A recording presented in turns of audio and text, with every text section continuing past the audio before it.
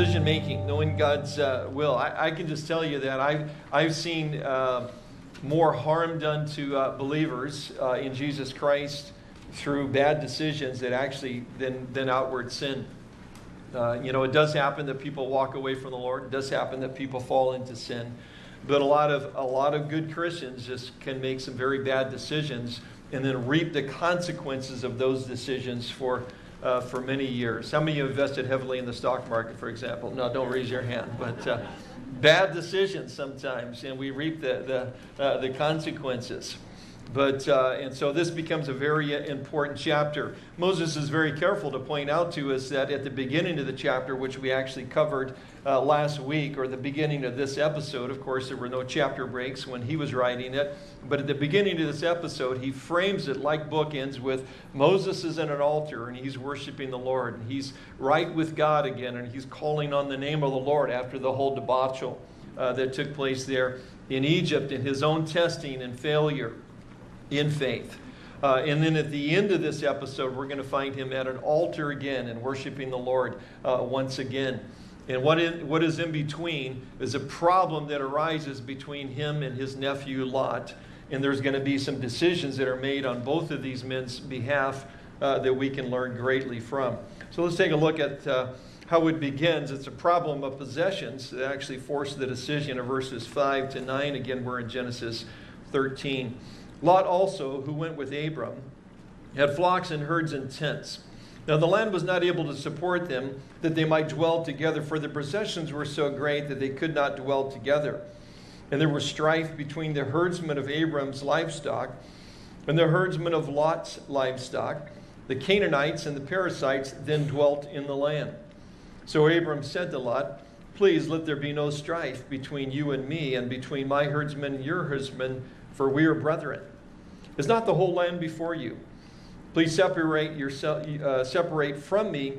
If you take the left, then I will go to the right. Or if you go to the right, then I will go to the left. So again, the problem is created by their prosperity. So God has blessed them. Uh, and they are both really uh, become are becoming rich rich men at this point. Uh, and it creates a problem for them. It's, it's usually that's the situation. Uh, it's really not uh, in those times of desperation where we're, we're crying out, out, to the Lord that there's really an issue with our relationship uh, with, with the Lord. We're just uh, uh, with some of the folks in the church and praying for one of the guys that uh, is in a kind of a hospice situation and near the end of his life. And as he goes through a lot of pain and periods, uh, you know, I asked him, so how, how is your relationship with the Lord? And he says, oh, I'm crying out to the Lord all the time. because, you know, it's, it's those times that, that you do. Uh, it's the times in prosperity that we can really fail, that we can really make some bad decisions.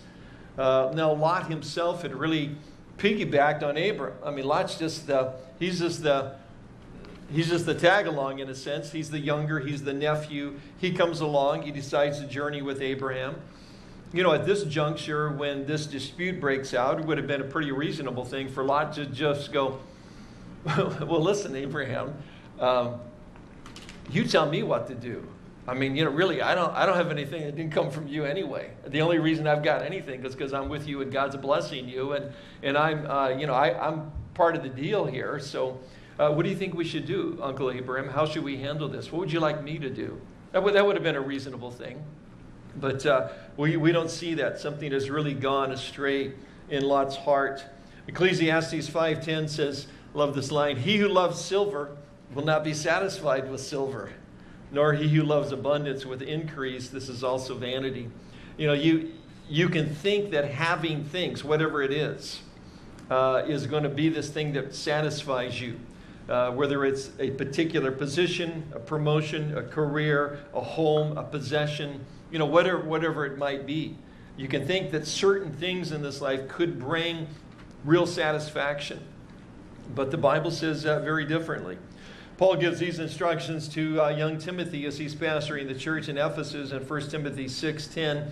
He says, "For the love of money, not money, but for the love of money is the root of all kinds of evil, for which some have strayed from the faith in their greediness and pierced themselves through with many sorrows. Now, again, the money, the riches is not the problem because Abraham's probably got more, but it's not an issue for him because it's not what his life is all about because he's at this altar in this place of surrender uh, before the Lord.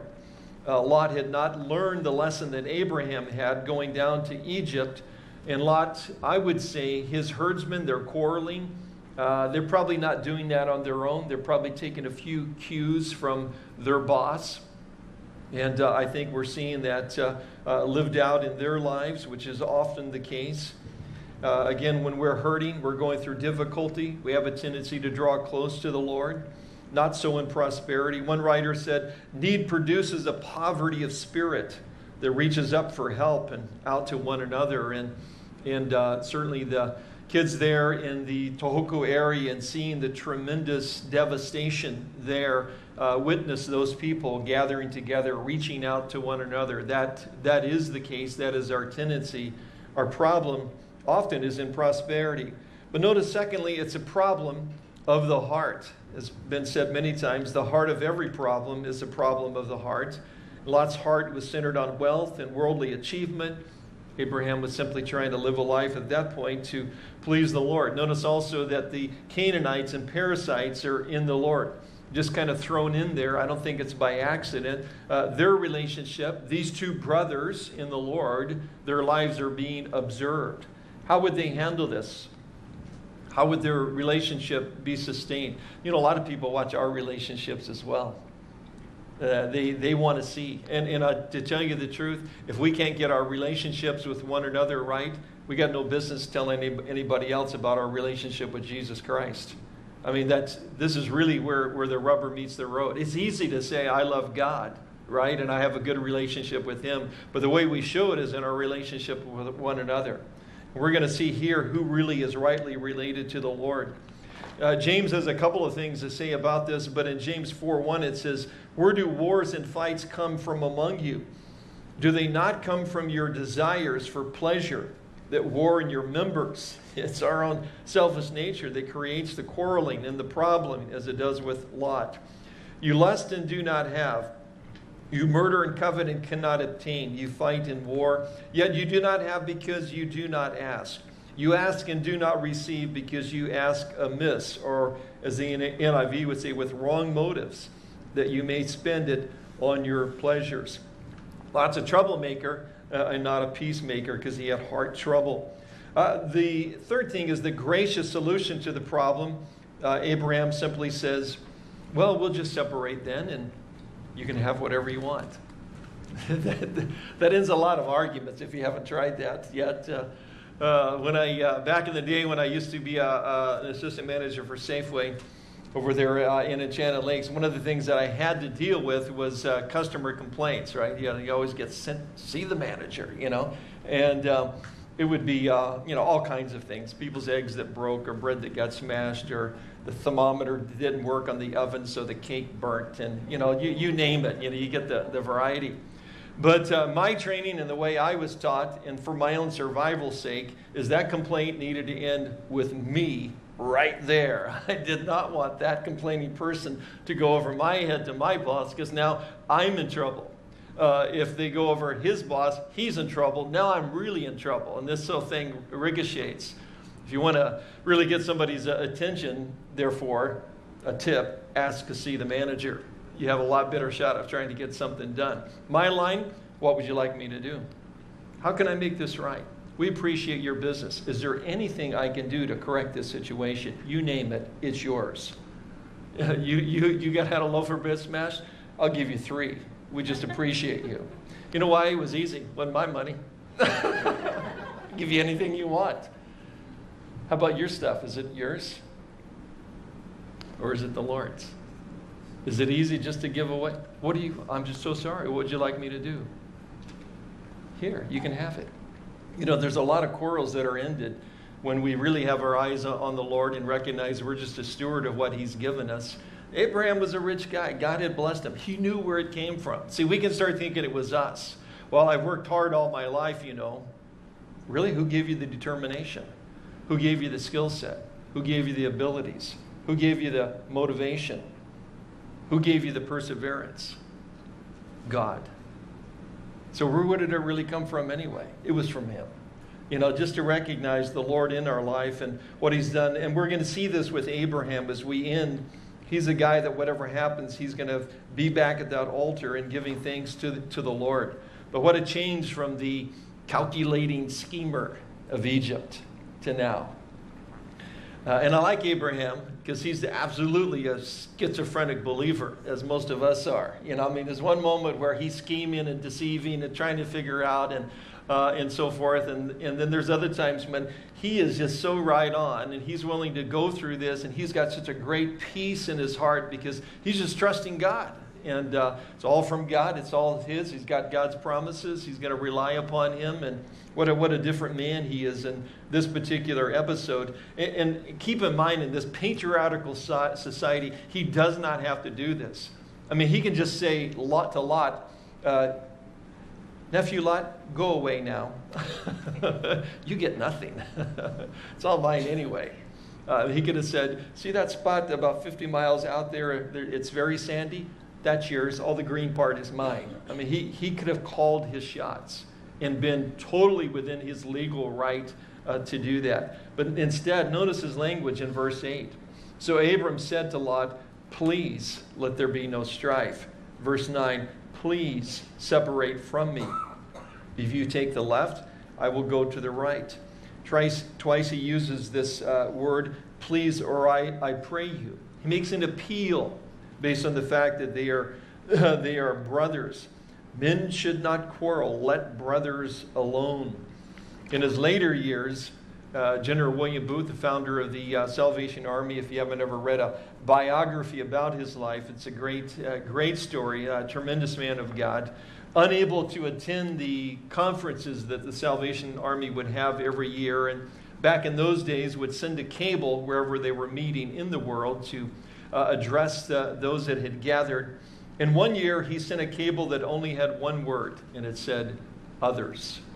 That's what our ministry is to be all about. And that was certainly what we see exemplified in the life of Abraham here. How could he allow his younger nephew to make this decision? Because that's what's going on here. He's got to make a decision how to handle it. Lot's going to have to make a decision as well. But he wasn't worried about the, the future, was he? I think of the, uh, the virtuous woman of Proverbs 31. There's a line in there describing her saying that she can laugh at the days to come. What does that mean? I mean, she can trust the Lord for the future. Whatever happens, whatever comes their way, she, she, whatever the circumstances, she knows that all things work together for good for those who love the Lord and are called according to his purposes. Jesus put it this way certainly echoed in the life of Abraham in Matthew 6:33, but seek first the kingdom of God and his righteousness and all these things shall be added to you. Therefore do not worry about tomorrow, for tomorrow will worry about its own things. Sufficient for the day is its own trouble. And I would say amen to that. There's, a, there's enough in one day to deal with. Do we really need to start worrying about next week and next year and so forth? Uh, there's a proverb that talks about the righteous man and how he does not fear sudden destruction. And there's a lot of the what ifs that can go through our minds that are sometimes, you know, just our own lack of faith and sometimes an attack from the enemy that can get us not trusting God and not trusting Him for the future. But when we put the Lord first, seek first the kingdom of God, if you read it in context, suggest that you do, uh, it's really just talking about the everyday material things of life your house and where you live and your stuff and all of that. Jesus says, if you'll seek me first uh, and what you should be doing with your life on my behalf and live your life for me in that way, then all this other stuff is going to be taken care of as well. But like the proverb or the Ecclesiastes passage, if you seek after that stuff first, it's just going to take wings and fly away anyway. Uh, the person that seeks silver will never be satisfied uh, with it. Abraham was holding on to a promise given back in chapter 12, verse 7 To your descendants I will give the land. In some ways, if, if we're thinking like Abraham, it was an easy decision. Lot, you can choose whatever you want because it really doesn't matter because wherever I go, God's going to bless me. If you go this way, I'll just go this way and God will bless me. If you go that way, I'm going to go this way because God's going to bless me. He's going to watch over me. He's made some promises to me, and I believe them. And, uh, and I trust him. I haven't always in the past, but I've spent enough time in front of an altar worshiping him. And that sacrifice that was burned on the altar and that smoke that went up, that was representative of my life. I want to try to live it in total dedication to him. And when I do that, I've got a real peace in my heart. That's hard to do sometimes, and he doesn't always get it right, but he certainly has it right here. So there's a problem of possessions that actually force a decision. And then notice also in verse 10 to 13, it's the appearance of the plains of Jordan. And they end up influ- influencing Lot. Verse 10 And Lot lifted up his eyes and saw the plain of Jordan, that was well watered everywhere. And then, parenthesis, before the Lord destroyed Sodom and Gomorrah, like the garden of the Lord, like the land of Egypt as you go toward Zoar. Now, Moses, again, very carefully writing, there's, a, there's an ominous tone to this. It's like Eden. Oh, yeah, the judgment was there. It's like Egypt. Oh, yeah, there's judgment that's coming there. It's like Zoar. Yeah, there's judgment coming there as well. Very, very interesting. But Lot notices he's not seeking the Lord. Then Lot chose for himself all the plain of Jordan, and Lot journeyed east. And they separated from each other. Abram dwelt in the land of Canaan, and Lot dwelt in the land of the cities of the plain, and pitched his tent even as far as Sodom. But the men of Sodom were exceedingly wicked and sinful against the Lord. They weren't just sinful, and they weren't just wicked. Uh, Moses, again, very careful. They were exceedingly wicked and sinful. There's, a, there's an ominous thing going on. The storm clouds are gathering over the heads of, of Lot as he heads this way and he makes this decision. But notice he lifted his eyes towards the plain of Jordan. This is in contrast to, we'll see Abraham lifting his eyes to heaven to hear from the Lord and wait on the Lord. But he sees it, it looks good to him, makes all the sense in the world. After all, it's well watered, it's green, it's beautiful, and they're, they're about 3,000 feet up there in Bethel. They could walk about a mile and a mile and a half from where they were camped and look out over a precipice and see the entire Jordan Valley, and it would have been breathtaking and beautiful. It's beautiful. It looks good to me. I'll take it. And sometimes, you know, we make bad decisions that way. From my perspective, Sure looks like a good idea. That promotion, that place, live here, go there, whatever it might be, this school for my kids, whatever big decisions that we have to make. From my perspective, looking down, it all looks, looks good to me. But it wasn't, was it? But uh, again, never seeking the Lord. We would note that Lot had a tent, but never, never had an altar in his life. Instead of lifting up his eyes to heaven, he looked at the plains of Jordan. And notice it reminded him of Egypt. He'd gotten a taste of uh, life in Egypt, which was a life away from the Lord. But what an opportunity that he missed out. How he could have just said, No, Abraham, it's, it's uh, I'm just going to follow you. I'll go wherever you go. You think of uh, Ruth the Moabite, what a contrast coming with her uh, mother in law Naomi in, the, in a time also of real testing. You know, uh, I'll go with you. Your God will be my God. Your people will be my people, and so forth. But uh, he doesn't do it. What a, what, a, what a great opportunity. Can you imagine walking with Abraham, being a friend of Abraham, sitting around the campfire with Abraham? All the experiences. God's not done with them. There's all these things that are going to happen. A journey of faith that he could have had, and he's going to walk away from it at this point. You know why? He thinks he knows better. he thinks he knows better. Uh, and, uh, and, and it's so sorry because he doesn't. Notice it was first a glance or it was a look in verse 10. He looked towards Sodom. Uh, later, we'll see that he moved towards Sodom in verse 11 and 12. When we get to chapter 14, we find that he moves into Sodom. And by the time we get to chapter 19, we find him uh, as the two angels that are coming in judgment they came to Sodom in the evening, and Lot was sitting in the gate of Sodom. Sitting in the gate, and you remember that in those days, the gate of the city was actually a large room, in many cases about half the size of this room, benches all the way around. There would be an entrance uh, in one side and then an exit into the city that way. Two purposes. If somebody was going to storm the gates like they do in the movies, it was really never like that. Big wooden gates, if you get open, you're right into the courtyard and you bust through. They didn't build gates that way. If they got in the gate, now they were in an enclosed room, and there were places up, little tiny openings above where archers could be up there and nail guys coming in. Those little openings are called peepholes. Very interesting. And they could catch them. And it, it prevented them from being able to, in a sense, break directly into the city. But the benches that were in there were in there because that's where the elders sat. That's where they went and made decisions. So we've got a Lot looking on the plains of Jordan, it seems very beautiful to my eyes. I'm not really consulting the Lord uh, because, you know, I got this, Lord. I'm doing pretty good. I can just call the shots here on my own. So it looks good to my eyes. That's enough of a decision that I need. I'm moving there. In fact, I'm going to move a little further towards Sodom. In fact, I'm going to move into Sodom. And now I'm so politically correct in this corrupted situation that he's in, he gets elected to the city council. He's sitting in the gate of the city. It's quite a, quite a transition when he could have been with Abraham during this entire time. Notice also the appearance of the plain. Plain certainly influenced him. He mentions uh, Egypt there. It's like Egypt because of, of the Nile.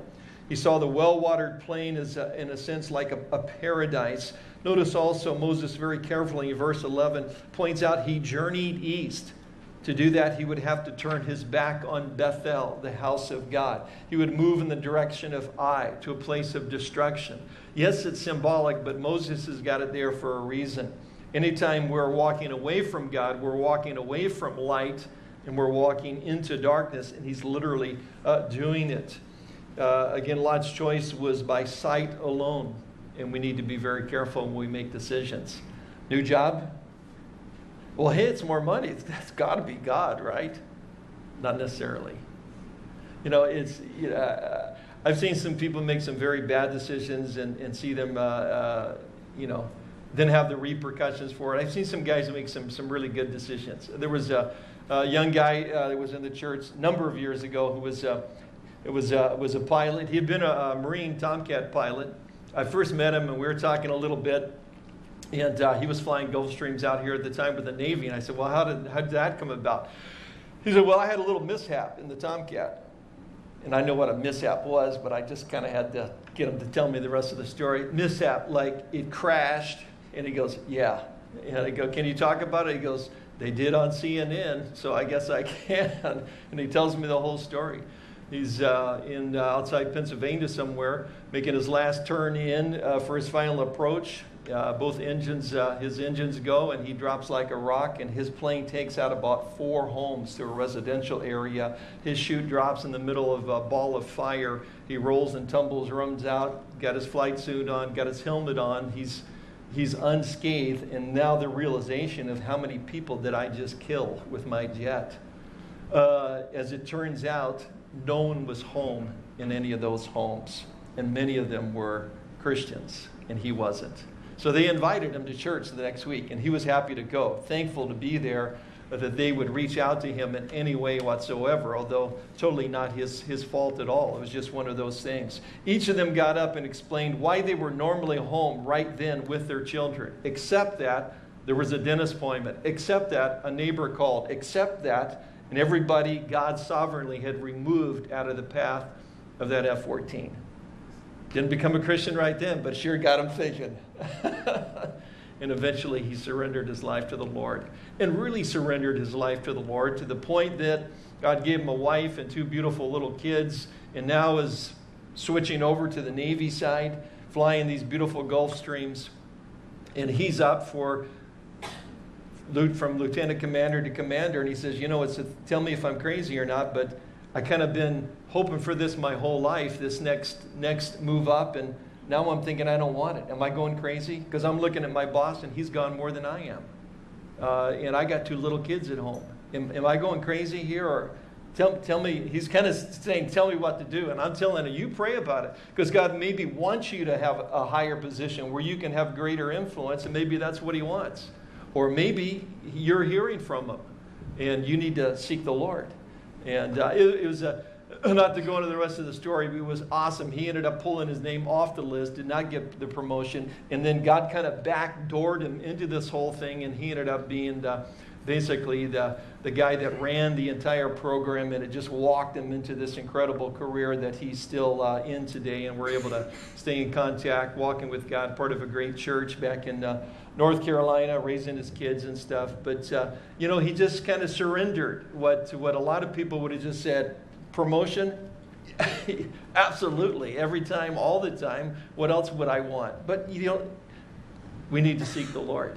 And not just look on something with eyesight and assume that that's what God has for us. We've got uh, uh, one, of, one of our guys praying a promotion board this month, and uh, we're, I'm praying uh, for him to get promoted or for God's will to be done, whatever that is. And that's what he's praying for as well. And I think that's, that's awesome. Of course, I think the Marines need their heads examined if he doesn't get promotion, knowing him. But uh, uh, at the same time, tough decisions that we have. What do we do? How do we handle decisions? Sometimes they're brought on by God's blessings. One of the prophets, Haggai, says at one point in time with the children of Israel, God says, I fed them when they were in the desert, in the land of the burning heat. When I fed them, they became satisfied. When they were satisfied, they became proud. Then they forgot me. You know, sometimes the hardest times is when we're experiencing God's blessing.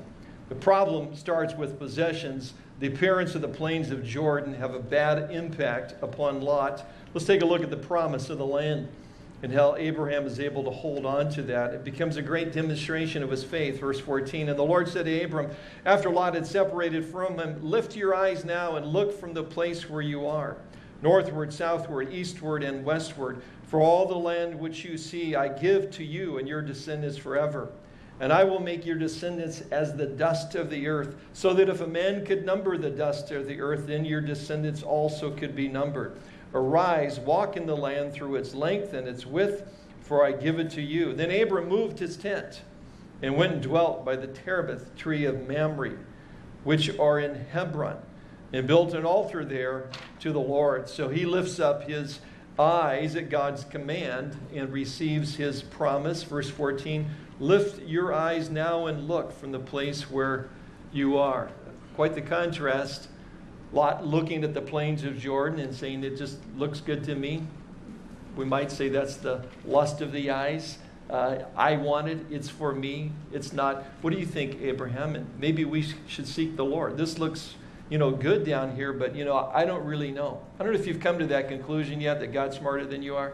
You know, it, you know, I, you know, you can really actually become a Christian. I confess, you can become a Christian, walk with the Lord, and still somehow think God doesn't really know you that well. You know, He knows you in a general sense, like He knows everybody in a general sense. He doesn't know the particulars of your thinking and your abilities and so forth. So you do need to kind of help Him out once in a while. He doesn't always really realize your particular situation. So you can't really totally surrender and consult Him on things because, after all, He's busy running the universe. But actually, God can handle your little life and comprehend your little thoughts all, uh, all along. And, uh, you know, and when we consult Him, it's amazing uh, the outcome. Abraham lifts up his eyes at God's command and he receives his promise. Now, what happened to the land that Lot chose? Well, he chose a piece of land that he finally lost. You remember the rest of the story. We'll get there by chapter 19. He's got to flee, and there's a little thing called fire and brimstone that comes down and absolutely destroys this area. And there's not a lot there today. It's pretty much looks, uh, looks the same. What happened to the land that was promised to Abraham? It still belongs to his descendants. And we are fortunate enough to live in a time prophetically when they are back in that land. Once again, his physical descendants, the Jewish people. Notice that Lot said, I will take. Abraham said, I will give. Proverbs 10:22 says the blessings of the Lord make one rich and he adds no sorrow to it. So again, if you're seeking first the kingdom of God and he's blessing, then you can go it's all the Lord's and he's blessed and I give him the praise for, for what he's done. You know, but if it's all about you and what you've done and your stuff and your deal, you know, you're, you're going to be worried about it all, all the time as well. But uh, when he gives it, there's no sorrow with it. Abraham listens to God's promise again of numerous descendants. The multiplication of Abraham's descendants, too numerous to count. Later in chapter 15, there'll be another comparison. Uh, this one is every time you walk, Abraham, you can look at the ground and see that dust and know that your descendants will be more than that. And that will remind you of this promise. Then in chapter 15, every time you're around that campfire at night and you look up at those stars, that'll be the reminder as well, because your descendants will be more numerous than the stars in, uh, in the heavens. The promise included a command to walk. Lift up your eyes and look, and then lift up your feet and walk. Some very early Jewish commentaries say that this was a symbolic act signifying legal acquisition of the land. In other words, you're purchasing a piece of property, then you would walk it, the, uh, the length and the breadth of it, to signify that it was really your, yours. It was like signing, signing the deed or, or having the deed recorded in a sense. Uh, and Abraham does. Now, at this, this moment, did all the Canaanites and the Perizzites just went, well, we kind of heard that God gave you this whole thing, so that's we're good with that. We're out of here. No, I don't think they really did that. I think they were pretty much still there.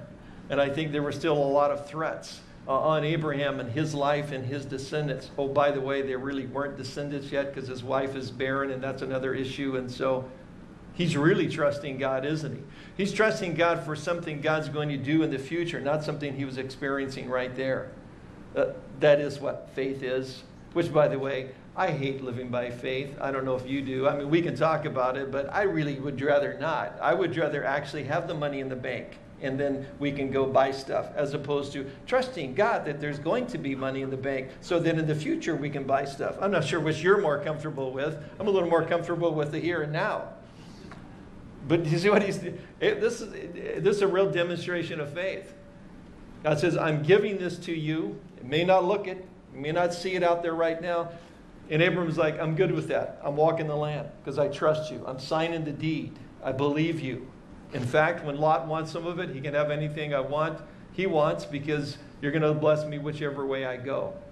And uh, Jesus says, I've gone to prepare a place for you. We got a great we got a great place as well. Can you see it? No. But can we walk around believing it, knowing that's there? absolutely.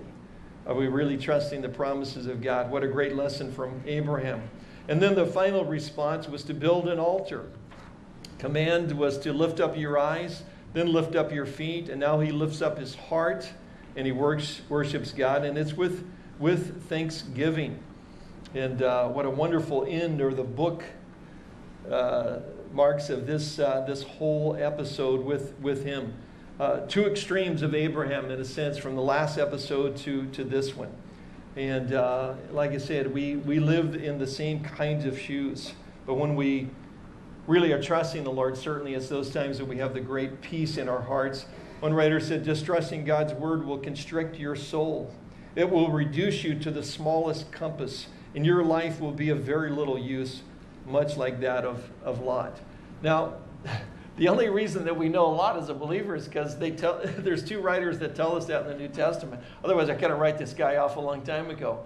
But one of them talks about how living in Sodom, his righteous soul was vexed daily because of the wickedness that he saw around him. It's like, okay, but how does it all work out for Lot? Well, again, he marches out of the city at the command of the angels. He does believe them. They kind of grab him by the, by the scruff of his neck. He makes it out with his, with his two daughters. His wife turns back. She suffers the judgment of God. How did that all work out, this decision of not consulting God or not even humbling himself with his uh, with Uncle Abraham, whom he had everything he owed to? Well, he lost everything. He gets nothing. Still a believer, still gets saved. He doesn't suffer the judgment of God. We don't want to be that kind of believer. We want to be the, the, the Abraham kind of believer with a peace in our heart and uh, experiencing God's blessing because we can trust His promises. Four principles just to uh, leave you with, and you'll, uh, you'll be really blessed to, actually, to, to know that I actually had 16, but uh, kind of narrowed it down to four. So uh, we'd actually done a, another message one time on uh, 10 questions to, to ask in order to know God's will. Is it in the Bible? Is it a sin? Basic questions you ought to be asking. Do you have a piece about it? It's not just asking one of those questions, it's the combination that helps you uh, discern God's will. But uh, again, four principles here. Uh, one, we must first place, place our lives on the altar in order to know God's will. Now, we see that with Abraham. That's the whole thing of the sacrifice. It was totally consumed. Now, Paul speaks about that in the New Testament in Romans 12. Uh, keep in mind the fact that if, if we want God to direct us, wouldn't it be kind of a good thing if we were already obeying what He told us to do? Uh, if you, uh, I, you know, again, I did stained glass work for about 20 years, and I'd have some uh, guys come along once in a while that would want to quote apprentice with me or learn from me or whatever. And once in a while, I would I would uh, work with somebody uh, a little bit and so forth. It was always a little disheartening after having done it for a very long time to try to explain something to someone that wanted to learn, and the first thing they said was, "Well, I don't know if I would always do it that way." Okay, then why don't you kind of go down the street and do that then? You're the one that came to me, remember? But you know, again, if we're if we're not if we have no no plans in obeying God, why would He tell us what to do? So, th- so there's really got to be a surrender here if He's going to direct our lives. Does that does that kind of make sense? Paul puts it this way: I beseech you, brother. He says, I beg you.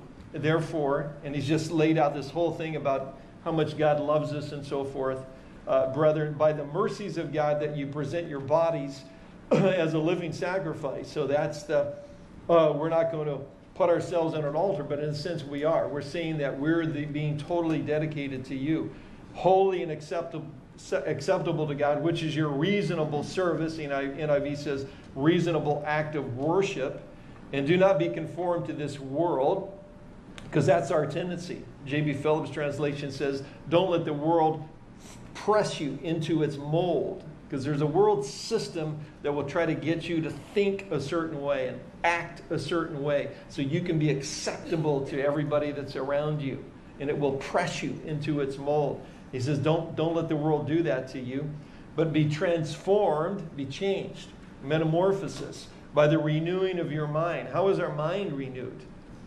It's not by putting garbage in there. I can i can tell you that it's, it's through the Word of God. It's the Holy Spirit working through the holy Word of God to bring transformation. Paul, addressing the church at, uh, at Ephesus, uh, tells them that they should wash their mind with the Word of God. Uh, and that's what we need to do. I was of that, that generation that wanted to have an open mind to everything. And I can tell you, if you have an open mind long enough, it'll be filled with a lot of garbage. And I needed my brain washed. And uh, uh, and, uh, and, and really, God did that and is continuing the process through His Word. Transformed by the renewing of your mind, that you may prove what is that good and acceptable and what? The perfect will of God. Want to know what God's will is for your life? Start with uh, these instructions in Romans 12. Place your life on the altar in order to know God's will, like Abraham did. Secondly, we must be willing to surrender our future to the Lord and learn to trust Him. And certainly, Abraham did that, wasn't he? I mean, it was like, uh, here's God's promises, here's the future. Uh, I'm going to hang on to the promise. Uh, Lot, you can have what you want, do what you want. Let there not be quarreling uh, among us. He was certainly trusting God. Psalm 37 37 Mark the blameless man and observe the upright, for the future of that man is peace. But the transgressor shall be destroyed together, the future of the wicked shall be cut off. So, uh, again, it's uh, the peace that comes when we're trusting the Lord for the future. Kind of the classic verse about the future certainly is Jeremiah 29 11. And it is given to Israel in a time of their backsliding. Jeremiah is, uh, is there, starts out a young guy, 18 years old, there at the, the temple, calling the people back uh, to repentance, hoping that they would turn. Uh, does it for 40 years we would say not a big successful ministry because he doesn't have a lot of people uh, obey him. Uh, and, uh, and yet at the same time, so faithful to God. But he says this to backsliding uh, Israel For I know the thoughts I think towards you, says the Lord, thoughts of peace and not of evil, to give you a future and a hope. Then you will call upon me and go and pray to me, and I will listen to you, and you will seek me and find me when you search for me with all of your heart. That's another requirement. Seeking the Lord with all of our heart. James, again in the New Testament, says, Draw near to God, and he will draw near to you. And the picture of that is given by Jesus in Luke 15 20 of the young prodigal who leaves his father, takes his inheritance, blows it all, uh, and ends up uh, uh, eating in a pigsty in order to have something to eat. Then, in a sense, comes to his senses. He repents. He rehearses his own mind. I'm going to back to my father. I'm going to tell him I've done wrong. He's, he's, he's going over in his mind this repentance. I'm going to change. And of course, as he heads that way, in verse 20, it says that he got up and went to his father. And when his father saw him a long ways off, his heart was filled with compassion for him. He ran to his son and threw his arms around him and kissed him. And Jesus says that's a picture of God. Uh, there was an old song written called The Day God Ran, because that's a picture of what God will do for us anytime we will come to him, seek him, and find him when we search for Him with all of our, our heart. Three is what you're praying for, motivated by the Word or by the world. Uh, Abraham was holding on to the promises of the Word, and Lot was, again, looking at the world. Abraham was waiting to hear from God. His choice was, was not motivated by a selfish desire. Ask your question does it lead to pride or does it lead to humility? Does it appeal to your flesh or does it appeal to your spirit? Paul says in uh, Philippians 2 3, let nothing be done through selfish ambition. If what you're getting ready to decide is about your selfish ambition, you're probably in trouble already, like Lot. Let nothing be done in selfish ambition or, or conceit. Again, NIV says vain conceit. But in lowliness of mind, let each esteem others better than himself. Let each of you look not only for his own interests, but also for the interests of others. And by the way, that's a quality of a great leader right there as well. Somebody that is looking out for the interest of others and his guys in, or gals in, uh, in particular, putting others first, not seeking a selfish ambition uh, in any way.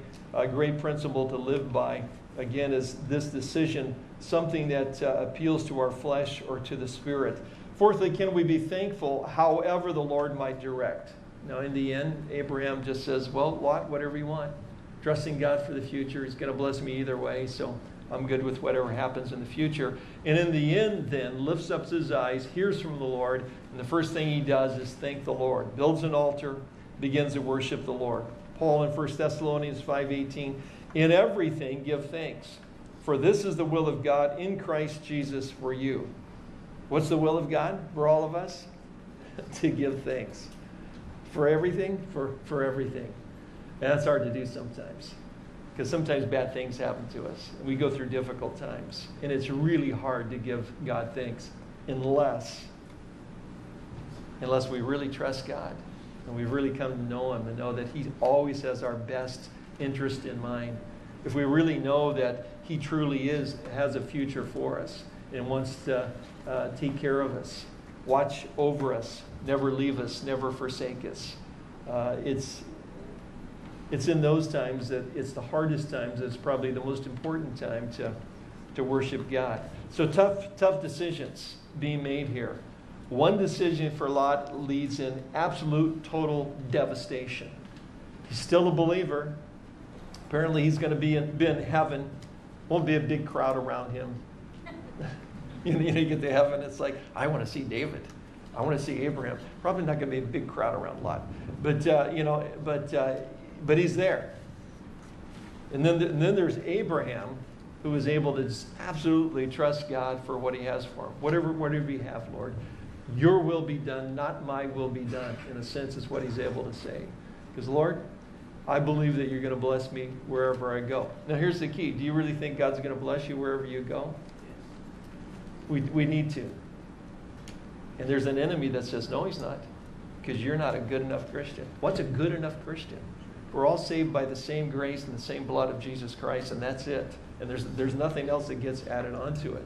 And we have this misconception sometimes that I'm not good enough for God to bless me. And we actually need to live with the anticipation of God blessing us because He wants to. And uh, uh, are you like that with your kids? You're just so thrilled when you have the opportunities to bless them. Uh, there's, you know, it's like, okay, I can do the grandfather thing now. There is nothing better than blessing your grandkids. Probably even better than blessing your kids.